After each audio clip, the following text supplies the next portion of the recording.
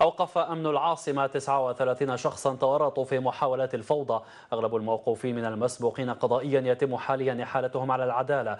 بعض من المشاغبين رفضت ملفاتهم بالترحيل بسبب حيازتهم على السكنات. إذا قوات الأمن في العاصمة اقتحمت كذلك مستودع في عين النعجة عثر بداخله على 72 عبوة مولوتوف. انتشار قوة الأمن يتم ليلا في أغلب أحياء العاصمة بالزي الرسمي والمدني. لتذكير كذلك أغلب الموقوفين تتم محاكمتهم بتهم الإخلال بالنظام العام والسرقة والإعتداء.